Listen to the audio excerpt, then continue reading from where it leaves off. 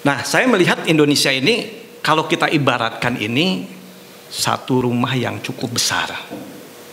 Ya, cukup besar dengan atap yang begitu luas. Dia memiliki enam tiang. Enam tiang penyangga yang cukup kokoh kuat.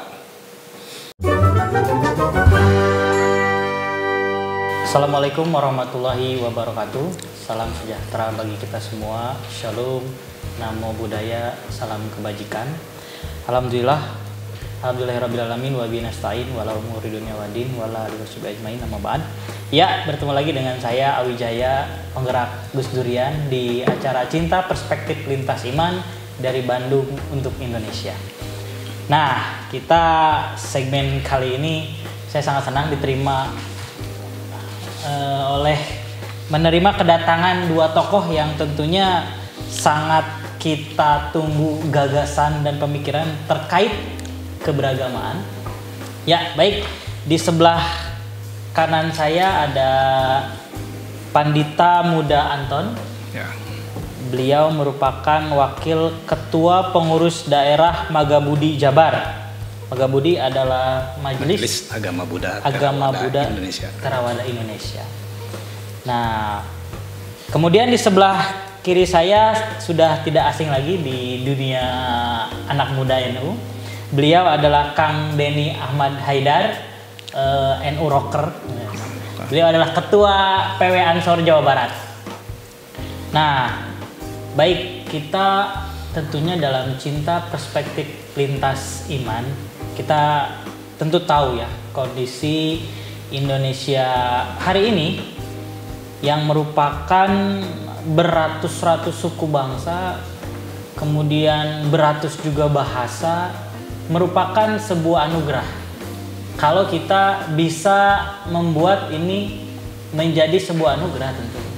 Tapi ini juga bisa menjadi ancaman dan apa ya dan gejolak kalau tentunya kita tidak menyikapinya dengan baik. Maka dari itu di samping anugerah juga tantangan. Nah, maka dari itu kita ingin mendengar cerita atau ulasan nih e, potret Indonesia itu seperti apa sih sebetulnya? E, mungkin dari Romo, Indonesia itu potretnya gimana sih? Jawa Barat, Indonesia gitu? Indonesia ya. Ya sebenarnya sih e, kalau kita lihat di Indonesia apa kita khusus Jawa Barat aja? Ya dari Jawa Barat ke Indonesia. Ke Indonesia sebenarnya memang di Indonesia ini kalau kita katakan keadaan sebenarnya keadaan yang cukup baik sekali. Apa yang kita inginkan bisa kita dapatkan. Apa yang kita mau bisa kita laksanakan. Ya. Tetapi sering kali kondisi keinginan dan kemauan inilah yang kadang-kadang di luar daripada batas keinginan kita yang seharusnya. Nah ini kalau kita kembali lagi ke masalah uh, kondisi keadaan Indonesia, mungkin peran agamanya atau bagaimana kira-kira ya. peran agamanya ya, peran agamanya. Nah saya melihat Indonesia ini kalau kita ibaratkan ini satu rumah yang cukup besar, ya cukup besar dengan atap yang begitu luas, dia memiliki enam tiang, enam tiang penyangga yang cukup kokoh kuat, yang cukup kokoh kuat. Ya, nah tiang penyangga ini itu bisa melindungi isi dan segala ada yang ada di dalam rumah tersebut. Nah, tiang agama, tiang itu adalah sebuah agama. Agama-agama ini sudah sudah sebagai tiang tiang yang kuat untuk menyanggah uh, rumah kita yang besar ini ya dengan keindahan ini boleh katakan sementara di luar sana tidak punya tetapi Indonesia punya itu Indonesia punya itu ya nah seharusnya tiang-tiang itu kita rawat kita rawat untuk menjadi tiang-tiang penyangga yang kuat yang kokoh. Dan sebuah kebanggaan sebenarnya bagi kita Indonesia yang mereka tidak miliki di sana, kita memilikinya. Seharusnya itulah yang kita pertahankan. Ya, tentu kalau kita lihat di luar sana sangat-sangat memuji sekali ya, sangat memuji sekali keberadaan Indonesia dengan enam tiang ini katakanlah yang tidak dimiliki oleh mereka. Ya. Nah, kenapa pujian-pujian mereka itu tidak kita pertahankan? Kita tidak pertahankan. Ya, kita buktikan kepada yang lain bahwa inilah Indonesia. Ini yang saya lihat di Indonesia ya keadaannya ya keadaannya yang Indonesia. Ah, gitu. Jadi Indonesia itu punya tiang. Punya tiang. Itu enam. Enam. Dan ya. harus kita rawat. Betul, betul. Dan kita dilihat dari luar itu tiangnya itu kokoh ya. Lihat ujian kokoh. Itu ya? Betul, betul sekali, betul nanti, sekali. Nanti kita tanyakan di balik kekokohan itu ada apa. Nah. ya, maka Kang Denny melihat Jawa Barat, kemudian berarti Indonesia itu gimana sih? Indonesia ya baik-baik saja, ada masalah. Indonesia ya, kalaupun belum apa namanya, belum seideal yang kita cita-citakan ya memang kita juga belum memperjuangkannya seideal yang seharusnya. Tapi bahwa sebagai tempat tinggal ini adalah tempat tinggal terbaik, tempat lahir terbaik, dan suatu saat juga harus menjadi tempat mati terbaik. Ya rumah besar kita ya Indonesia kita punya payung Pancasila di sana apa namanya eh, kemarin kita baru melaksanakan peringatan Sumpah Pemuda kira-kira kan begitu. Satu bangsa satu bahasa. Semuanya Indonesia. Jadi beragam keren indah ratusan ribuan orang latar belakang suku agama segala macam bisa bareng bisa ngomong ngerti satu bahasa Indonesia dan merasa tetap satu Indonesia ini apa namanya keajaiban yang memang diikhtiarkan dulu oleh para pendiri bangsa ini ya ikhtiarnya itu tidak boleh apa namanya tidak boleh berhenti ikhtiarnya harus terus karena ya Indonesia yang kita cita-citakan adalah Indonesia yang harus terus kita perjuangkan karena setiap hari kan berubah, setiap hari dinamis, setiap hari harus terus maju. Ya artinya kita tidak bisa menerima begini saja. Tapi kalau ada idealitas ya kita perjuangkan bareng-bareng. Hmm. Karena dulu juga para pendahulu, para apa namanya pendiri negeri ini kan juga mereka bukan orang-orang cengeng. Kalau ada masalah dihadapi, kalau ada tantangan ya dilewati. Eh, kira-kira uh, begitu. Jadi Indonesia ya baik-baik saja. Yang kadang-kadang tidak balik itu Indonesia bagian medsos Ya. Saya bagian dunia maya kadang ribu. Dunia nyata biasa saja. Pelebah dunia maya ada ribu. ya menarik juga nih. Jadi Indonesia itu ideal. Kalau belum ideal berarti kita belum memperjuangkannya secara ideal. Wah, ini antara uh, ideal dan pujian tadi harap bisa dijawab selanjutnya nih kira-kira para pemirsa. Nah, menarik tadi uh, Romo berbicara soal tadi ada enam tiang kemudian harus kita rawat kemudian juga banyak pujian dari luar sana ada nggak sih masalahnya gitu di balik itu di balik yang enam tiang yeah. ini ya. Dengan di balik enam tiang ini dan pujian-pujian yeah. yang di iya. luar sana. Ya tentu pasti ada ya permasalahan-permasalahan itu pasti ada gitu ya gitu. Karena begini uh, kita kembali lagi kepada uh, cinta kasih lah katakanlah cinta kasih.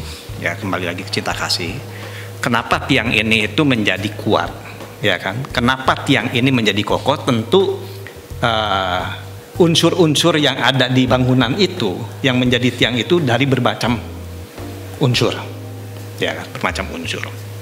Nah kalau unsur-unsur ini yang ini tidak dinodai ya tidak dinodai oleh banyak kekotoran-kekotoran batin lah katakan kekotoran batin ini mungkin uh, kondisinya tiang itu adalah benar-benar sungguh-sungguh kokoh ya sungguh-sungguh kuat gitu karena selama ini yang kita lihat justru banyaknya permasalahan yang terjadi itu dikarenakan apa karena adanya kekotoran batin di permasalahan ini ya misalkan uh, yang sering kali terjadi.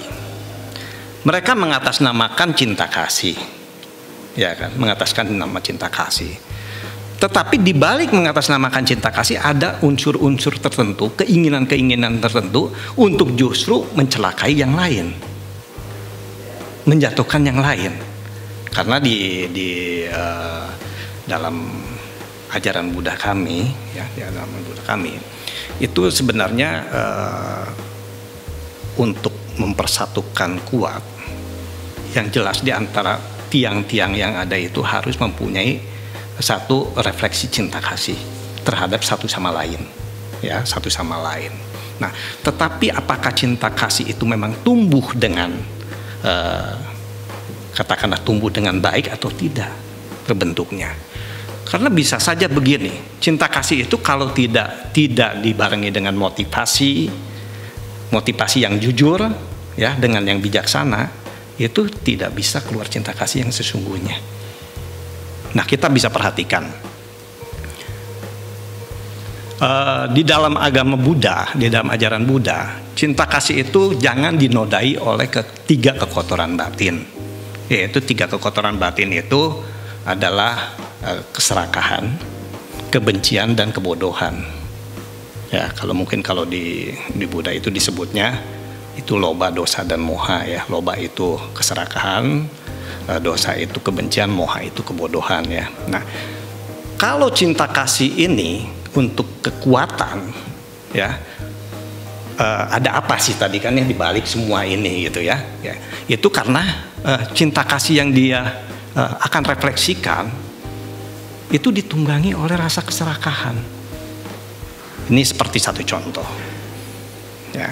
Karena cinta kasih kan bisa bisa terbentuk bisa membentuk jadi seperti misalkan begini, saya mengenal Pak Awi, ya, mengenal Pak Awi.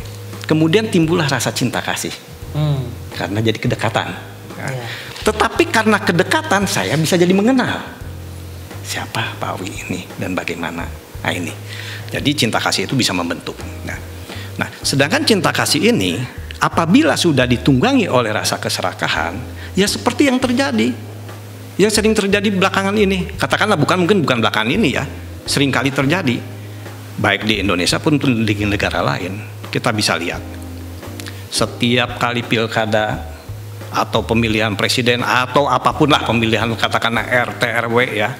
Ini para calon-calonnya itu lebih sensitif pak.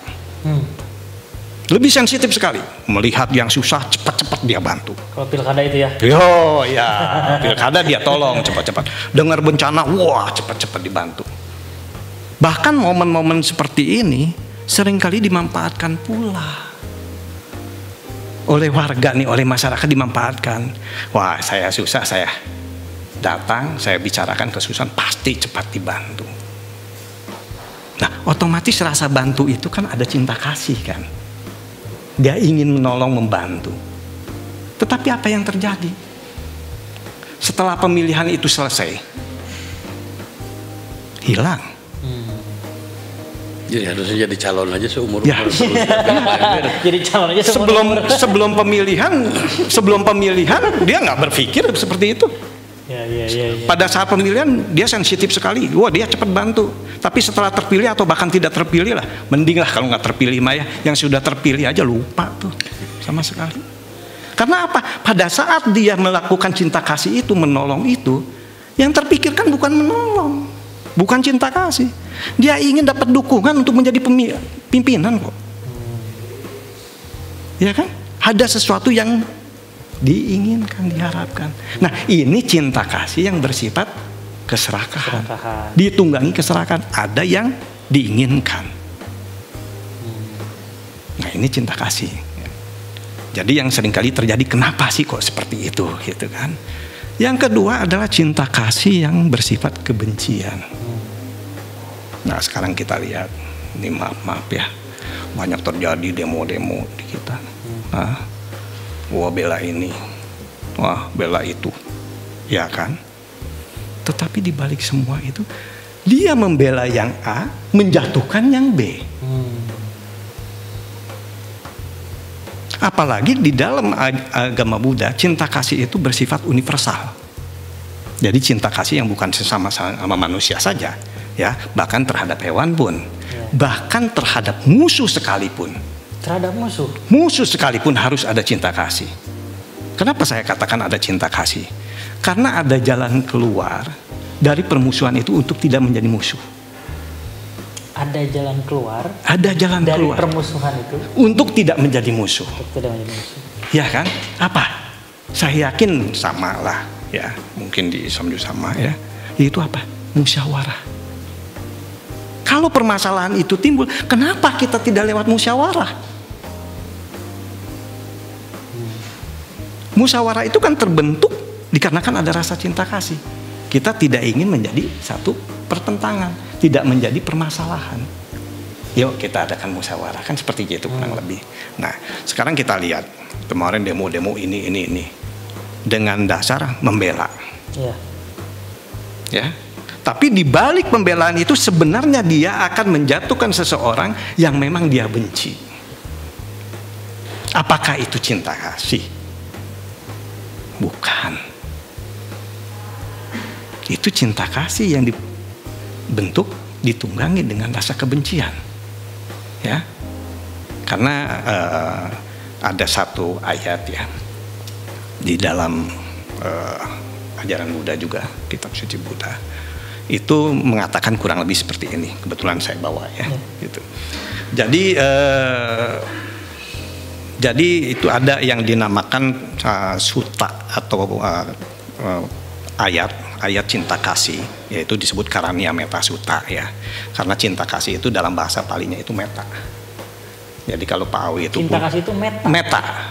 Ya cinta kasih itu meta tapi ada juga yang berhubungan dengan uh, kasih belas kasih itu karuna, tapi umumnya meta. Maka kalau Pak Awi mungkin nanti punya anak namanya meta, itu berarti anaknya itu artinya cinta kasih. Di metal itu cinta. meta. Bukan metal, metal. Oh, bukan. bukan meta, metal, metal ya. Jadi kalau metal itu cinta kasih tambah L. Jadi kalau nanti anaknya anaknya misalkan namanya uh, Meta Dewi gitu ya. Nah, itu berarti Dewi yang penuh dengan cinta kasih. Atau Dewi cinta kasih atau ada lagi Indra Meta yaitu pandangan cinta kasih. Tetapi yang saya katakan di sini yang tadi ditunggangi tiga itu nanti berakhirnya menjadi uh, musawada meta. Musawada meta itu adalah cinta kasih yang penuh kebohongan. Musawada meta Ya, musyawarah itu kebohongan. Mungkin musyawarah bisa jadi. Nah, musyawarah itu kebohongan gitu ya artinya ya. Oh, musyawarah itu artinya kebohongan. kebohongan bahasa artinya, Pali itu. Ya? ya, bahasa Palinya artinya kebohongan ya gitu ya, artinya kebohongan. Jadi uh, makanya di sana kan ada ada ayat suci yang mengatakan musawada terawani si padang gacami itu artinya itu janganlah uh, hindarilah berbuat kebohongan kurang lebih seperti itu ya gitu. Nah kembali lagi seperti ini. Nah tadi ada di, di satu ayat itu kalau bahasa palinya saya rasa tidak perlu saya bacakan ya. Jadi artinya itu e, di bait ke-6 itu ada mengatakan begini tak sepatutnya yang satu menipu yang lainnya tidak menghina siapa pun di mana juga dan tak selayaknya karena marah dan benci mengharap yang lain celaka. Jadi kalau misalkan uh, saya tidak sependapat saya tidak sejalan. Ya kan? Dengan kelompok ini katakanlah gitu nah itu tidak sepatutnya saya berusaha mencari ya untuk mencelakakan gitu. Karena kebencian itu. Justru semestinya kita memberikan cinta kasih kepada dia kita menyadarkan. Kita melakukan satu eh, katakanlah sama-sama introspeksi. Kemudian kita kalau bisa memang kita bermusyawarah. Kalau memang ada permasalahan Nah inilah ya yang sering kali ditunggangi kan kita mengatasnamakan cinta kasih, tetapi kita untuk menghajar yang lain karena kebencian itu. Nah itu yang yang kedua. Yang ketiga ini karena kebodohan. Ini ini banyak sekali lah ya. Mungkin Awi dan lain juga tahu sekali ya. Berapa waktu yang lalu kita sering kali dengar dengar berita-berita waktu zaman waktu pemilihan presiden kemarin juga ya gitu ada satu keluarga yang istri sama suami apa suami istrinya ribut nih ya. ya suaminya pilih nomor ini istrinya pilih nomor ini sampai cerai ya kan sudah pemilihan presidennya sudah selesai dia nggak jadi apa-apa. Hmm. Boro-boro jadi menteri, ketua RT gitu, Pak. Ya. Hah? Yang jelas sekarang permasalahannya pemilihan sudah selesai, rumah tangga hancur-hancuran, istri sudah ditalak, hmm. anak-anak jadi korban. Karena apa ini? Karena kebodohan. Karena kebodohan. Dia terlalu simpati dengan nomor ini, simpati dengan pilihan dia, ya kan? Cinta kasih yang ada di situ, tetapi cinta kasih ini ditunggangi oleh kebodohan. Nah ini yang sering kali justru yang saya perhatikan di antara kekuatan tiang-tiang ini masih ada yang dinodai oleh ketiga hal ini. Ya. Jadi puji-pujian di sana ya kita perlihatkan bahwa kami di sini mempunyai tiang kekuatan yang tidak dinodai oleh ketiga hal ini. Ya. Jadi kekotoran batin itu ada tiga, keserakahan, ya. kebencian dan kebodohan. Wah. Ya. Ini uh, kemudian refleksi dalam cinta dalam cinta kasih itu menurut Romo tadi bisa dibentuk atau membentuk sendiri. Ya. Nah, baik Kang Denny tadi menarik ketika Romo bicara tentang meta itu yeah. tentang cinta kasih kalau kalau metal itu cinta kasih plus L. Nah bagaimana memandang itu kira-kira? Ya namanya juga kan cinta kasih bukan yeah. cinta menta. Ini kan jadi yang apa namanya kesediaan kita untuk berkorban kesediaan kita untuk berbagi. Saya pikir para pendiri negeri ini kan tidak pernah mereka tanya latar belakang tidak pernah nanya kepentingan. Mereka bersama-sama kudunan bareng gitu loh punya apa sampai punya nyawa juga dikasih hmm. untuk kemerdekaan bangsa ini sehingga ya kita bisa bisa bebas berekspresi. Betul. Tidak lagi ditanya misalnya cerita apa latar belakangmu, apa agamamu, semua orang yeah. sama di muka Betul. hukum. Kan setiap undang-undang kan sudah begitu. Barang siapa kan tidak ada barang siapa beragama ini, kalau begini begini, barang siapa beragama kan tidak. Ini kan sudah contoh yang ya luar biasa mungkin. Yeah. Dan itu sudah jadi peri kehidupan kita. Di Indonesia itu kita menyatu kalau kata Bung Karno tidak penting apa namanya mikir dari mana asalmu apa agamamu. Satu saja bahwa semua punya tanggung jawab untuk berjuang di Indonesia ini. Itu sudah. Nah itu kan artinya cinta kasih kan cinta menta jadi tidak ada tidak ada berharap. Kalau dulu misalnya orang berjuang kemudian berharap jadi presiden berharap jadi bupati saya bilang nggak mungkin lah. Jadi ada yang berjuang ini. Mereka dalam menyampaikan apa mengorbankan apa pun ya karena mereka mencintai negerinya mereka mencintai kemerdekaannya sehingga itu lebih melampaui apa pun. Nah kadang-kadang ya tadi ini gebiahuya apa namanya antara ajaran dengan oknum. Jadi ajarannya ya keren. Kan misalnya begini ya. kalau ada salah satu penganut agama terus maling kan tidak lantas harus dipahami bahwa agama itu mengajurkan mengajarkan maling betul. Atau satu apa ada penganut agama misalnya gawe itu noong gitu ya poe. Apa lantas kemudian kita akan memfonis bahwa agama itu mengajarkan untuk noong? Oh, kan tidak. ya, ya. bahwa ajarannya tegak ini loh ajarannya. Soal bahwa ada eh, apa namanya penganut ajaran itu kemudian tidak sesuai dengan ini gitu, dengan dengan ajaran yang seharusnya tidak lantas nanti disamakan bahwa ajarannya begitu kan tidak.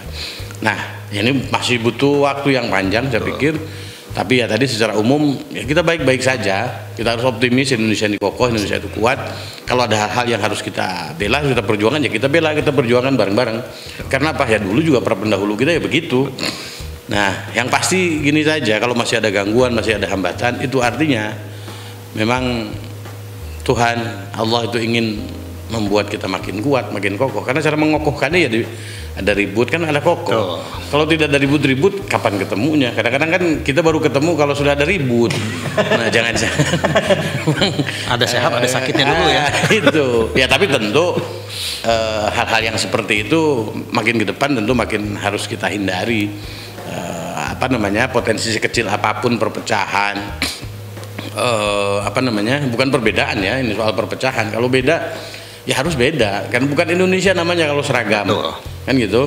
Kalau seragam itu mah anak SD itu seragam gitu apa namanya bodas berem. Tapi kalau Indonesia itu ya harus beda. Harus ada Sundanya harus ada Jawanya harus ada Bataknya harus ada keturunannya harus ada apa namanya Islamnya, harus ada Budanya, harus ada Kristennya. Ya kalau salah satu tidak ada menjadi kurang sempurna Indonesianya. Nah, berindonesia adalah cara menerima semua itu bahwa itu adalah ciptaan Tuhan, itu adalah kehendak Tuhan. Tuhan saja yang maha kuasa menciptakannya ini beragam. Masa tiba-tiba kita pengen seragam. Kalau pengen seragam, apa ya kalau pengen seragam sekolah kan tinggal beli. Tapi kalau ingin menyeragamkan semuanya tidak mungkin. Karena apa? Ya ini melawan kodrat yeah. apa namanya kehendak Tuhan. Jadi ya tinggal kita terima, kita nikmati, kita syukuri bagaimana sebagai sebuah bangsa kita bisa maju, sebagai sebuah bangsa kita bisa kokoh uh, tanpa harus juga menegasikan yang lain. Wong di Indonesia jadi orang Islam silahkan berekspresi seislam Islamnya kok, hmm. kan gitu tanpa apa uh, ya berislam memang tidak tidak boleh berislam bisa menjelek-jelekan yang lain, tidak boleh menghina-hina yang lain atau malah ngurus-ngurusin keyakinan yang lain ya Romo juga mau jadi Hindu sehindu Hindunya adu belajar kan tidak ada masalah. Eh siapa sebudak budaknya adu belajar silahkan ada iya. dan itu yang diperjuangkan para pendahulu kita. Betul, betul. nah kalau hari ini misalnya masih ada tantangan ini itu segala macam artinya kita memang harus terus berjuang betul. karena ya belum kiamat kita. Kalau sudah selesai semuanya berarti sudah mau kiamat. Ya, artinya ya optimis lah. Ya ini tantangan-tantangan itu itu adalah upaya Tuhan untuk membuat kita makin kuat supaya kita makin uh, cinta karena ternyata ya keribuhan-keribuhan itu kan tidak menyelesaikan masalah malah nambah-nambah masalah baru. Nah, artinya solusinya tadi sudah Romo sampaikan bahwa ini cinta kasih. Sudah dan dulu juga Indonesia itu dibangun oleh cinta kasih kok. Bukan oleh cinta minta. kasih. Ya, ya. Nah, Wow, jadi eh, Tuhan menciptakan beragam, nih kita nggak bisa memaksakan untuk seragam ya, Tuhan. Iya. Kang ini.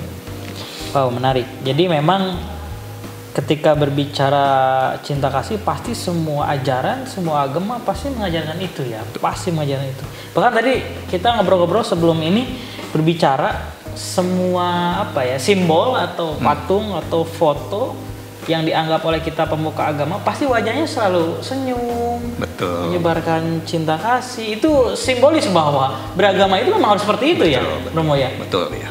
Nah sekarang kita bahas soal cinta, mulai dari tadi kita bahas sedikit sebetulnya cinta itu apa sih sebetulnya? Nah contoh seperti apa? Saya pernah baca cuitan tokoh yang katanya dari Gus Dur Ansor itu menjaga gereja itu bukan menjaga gerejanya tapi menjaga Indonesia. Jadi ketika itu dijaga sama dengan menjaga Indonesia. Nah itu fenomena itu dari dulu sejarahnya itu gimana? Kang? Sejarahnya kan kadang-kadang ada saudara-saudara kita juga yang ada ganggu ibadah saudara-saudara kita yang lain sebetulnya kan nggak enak juga orang lagi ibadah kita nongkrong pulang-pulang di kan nggak enak juga. Tapi ya karena apa namanya ada sebagian juga yang kadang-kadang genit gitu pengen ganggu pengen ngari riwe ya kita pastikan kita ikut menjaga. Karena apa? Kalau satu sisi kita terluka ya semuanya kita terluka. Kalau sisi kita sobek semuanya juga pasti sobek. Ya soal dicaci maki segala macam resiko lah ada masalah. Kan biasa saja Uh, itu ekspresi cinta. Ya gitu ekspresi cinta bahwa berindonesia itu ya begitu. Kita jaga Indonesia itu kalau dulu kan berjuang apa ya. kita sekadar hadir di sana memastikan saudara kita misalnya bisa beribadah dengan tenang. Ya yang bisa kita lakukan hari ini ya itu. Hmm. Uh, apa namanya yang ya, yang mampu lah yang mampu kita lakukan baru sebatas itu kalaupun banyak hal juga yang uh, apa namanya harus kita kerjakan bareng-bareng. Uh, hmm Ya, kira-kira begitulah.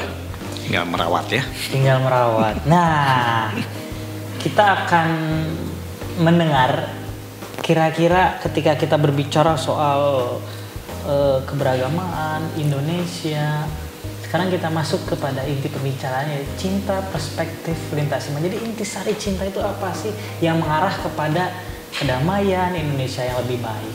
Ya kita saksikan di segmen yang kedua Tonton terus dan pantengin video kita. Dan jangan lupa subscribe, like, comment, and share NU Jabar Channel dan Gus Durian Bandung. Ikan hiu makan tomat. Omat. Subscribe.